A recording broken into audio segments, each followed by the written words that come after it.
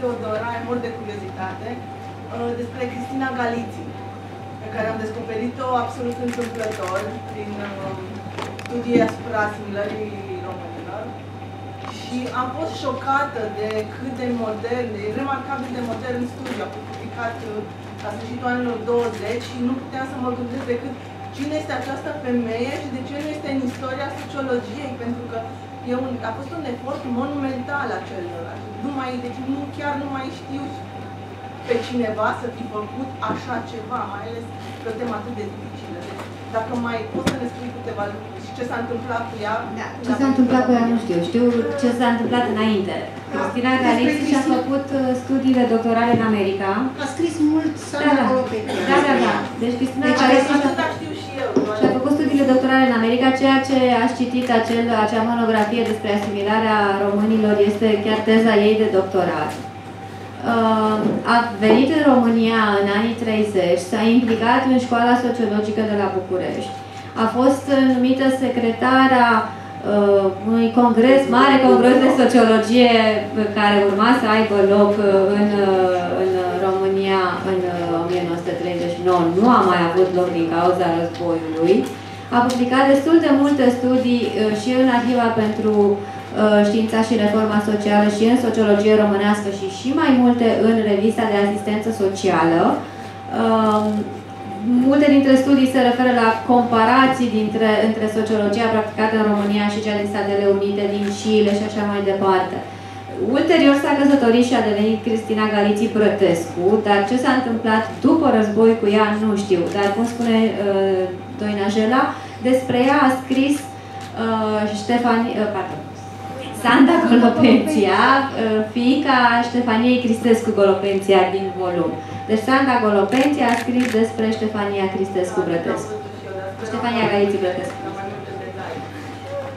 Ultima informație pe care pot să spun despre Cristina Galiții Brătescu, că în volumele opere Gusti apare o notiță în care autorii, uh, adică cei care au făcut această uh, colecție de uh, mă rog, au editat Gusti, au mulțumit lui Cristina Galiții pentru contribuția ei la această muncă de redactare a acestor... Dar, da, la începutul... Deci, practic, ea s-a implicat în editarea operei lui Gusti, probabil, adică aproape sigur, datorită lui Octavian Neamțu, uh, și uh,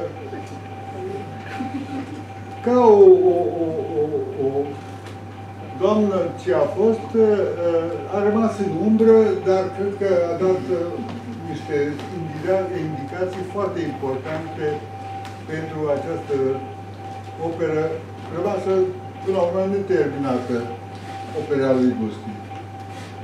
Și nu vreau să mai întreb ceva Bun.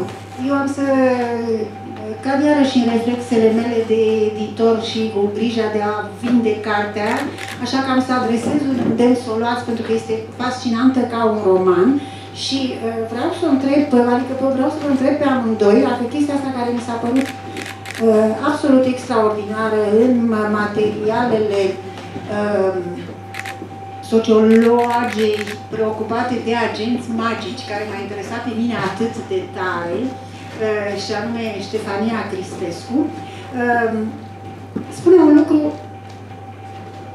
absolut uluitor și voiam să vă întreb ce părere aveți despre chestia asta. Deci, agenții magici, pentru cine nu știe, sunt oamenii din sat, firește în special femei, care fac vrăji, dezleagă vrăji uh, și uh, sunt, uh, constituie personajul cel mai temut și cel mai autoritar din sat, normal. Așa, ăla face și desface. Ei bine, ă, ceea ce m-a fascinat și vreau să spun, dacă nu ți-a venit să faci niște comentarii pe tema asta, ă, ca și povestea cu Moga și cu furtul ă, de, de temă, Crezi că dacă o femeie ar fi aflat, că a descoperit pe sala Mogo acolo și ar fi avut o căruță la dispoziție, nu i-ar fi furat lui... nu i-ar fi furat subiectul? Nu. Da. Femeile între ele nu se Atu, a, Între ele? Deci să fure de la o altă femeie da. un subiect? Nu s-a Eu nu am întâlnit nicăieri de la interviuri la uh, sutele de pagini de scrisori și de memorii, nicăieri un astfel de... Da, cu așa o, o, o lovitură sub centură. Da, nu, și de, deci, uh, surprinzător cu acești agenți magici este că uh, Ștefania Cristescu face o statistică și de departe cele mai multe vrăji pe care le cereau femeile și care te aștept să fie evident vrăji de dezlegat sau legat dragoste, știți despre, de, de, de, mai țin minte în legătură cu ce erau? Aproape 70% din ele erau vrăji pentru agricultură și pentru medicină populară. Deci sănătate și, sănătate și Sănătate, da, sănătate și, uh, și agricultură. Asta mi s-a părut. Și asta într-un sat din Oltenia, da? În rung, într-un sat din Oltenia, asta era preocuparea oamenilor în 1930 și pentru asta apelau la vrăjitori. Mi s-a părut ceva ce ar trebui să fie plin de consecințe sociologice, ca să zic așa. Era brajă, era magie, era altceva.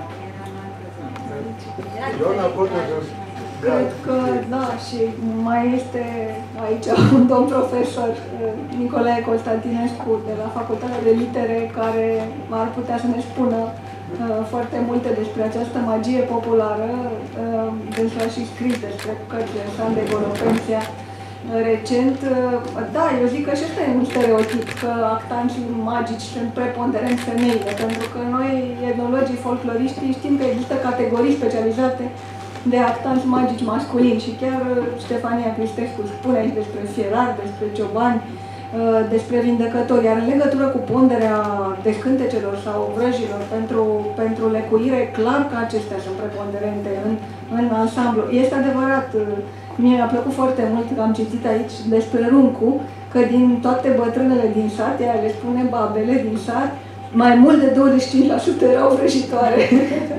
erau considerate așa. Dar nu este, un, nu este ceva atipic, nu. Deci acestea de făcut, de desfăcut, de întors, legături, de ursită, nu sunt preponderente, ci într-adevăr magia asta terapeutică și cea ocupațională sunt după toate, da, din toate cercetările, din tot ce am citit. Da.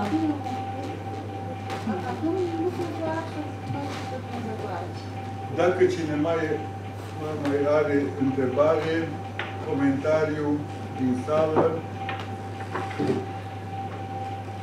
înseamnă că am epuizat această temă mai degrabă pe noi. Așa că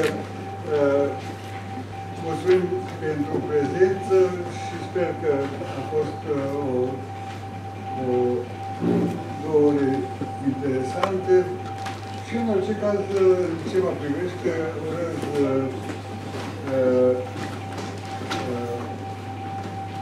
Teodora Băcărescu o carieră științifică foarte bună, așezată, și continuă. Mulțumesc!